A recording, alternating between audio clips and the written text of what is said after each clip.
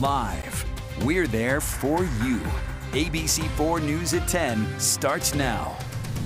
Welcome to ABC4 News at 10. I'm Glenn Mills. And I'm Emily Flores. We thank you for joining us here tonight. Dozens of people coming together to support each other after losing their children. The Christmas Box Angel Vigil giving parents a moment to grieve and remember their kids. ABC4's Courtney Johns joining us live from Salt Lake uh, City Cemetery with more on what this night is all about. Courtney. Emily, inside this cemetery is a beautiful angel, and at the feet of the angel are dozens of roses left behind by parents this evening in honor of their children.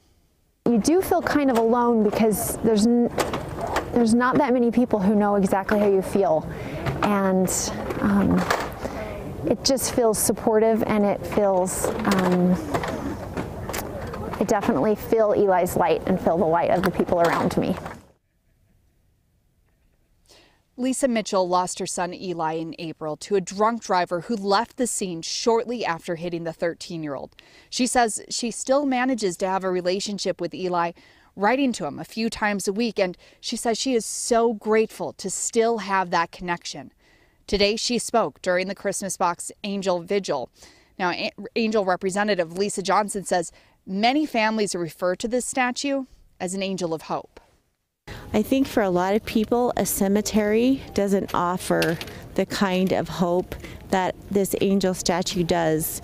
You remember leaving your child behind in a grave, and here, by the face of the angel, you're reminded to look up and reach out, just like her arms are reached out to all of us. Christmas Box Angel has been doing this for 28 years, and they have over 170 statues around the world. Reporting live in Salt Lake City, Courtney Johns, ABC4 News.